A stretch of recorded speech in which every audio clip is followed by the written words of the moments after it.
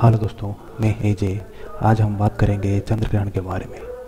चंद्र ग्रहण यानी चंद्रमा पर ग्रहण लगने वाला है। दोस्तों चंद्र ग्रहण जब भी होता है, तब हमेशा पूर्णिमा होती है। यानी जब हमें चंद्रमा पूरा गोल दिखाई देता है पृथ्वी से। चंद्र ग्रहण तभी होता है जब सूर्य, पृथ्वी और चंद्रमा अपने अक्ष पर एक ही लाइन में आते हैं। जैसे कि यह है सूर्य, यह है पृथ्वी और यह है चंद्रमा। यह तीनों एक ही लाइन में है। जब यह एक लाइन में होते हैं, तभी चंद्रग्रहण होता है।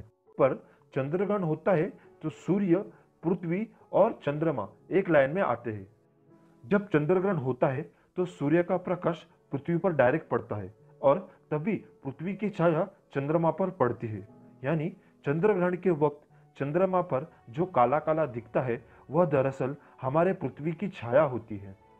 दोस्तों, पर जब पूरा चंद्रग्रहण होता है, तब चंद्रमा कुछ समय के लिए लाल दिखाई देता है। यह इसलिए कि सूर्य का जो प्रकाश है, पृथ्वी के वायुमंडल, यानी एटमॉस्फेयर से टकराकर जाता है। और जब वायुमंडल में टकराता है तो वो सात रंग में परिवर्तन होता है और सबसे ज़्यादा लाल रंग की मात्रा चंद्रमा पर पड़ती है। दोस्तों, आपने कभी ना कभी सोचा होगा कि अमावस और पूर्णिमा तो हर महीने आते हैं। तो सूर्य ग्रहण और चंद्र ग्रहण हर महीने क्यों नहीं आते? इसका कारण यह है कि पृथ्वी के अक्ष पर चंद्रमा के अक्ष का झुकाव होना और यह झुकाव करीब 5.15 डिग्री है।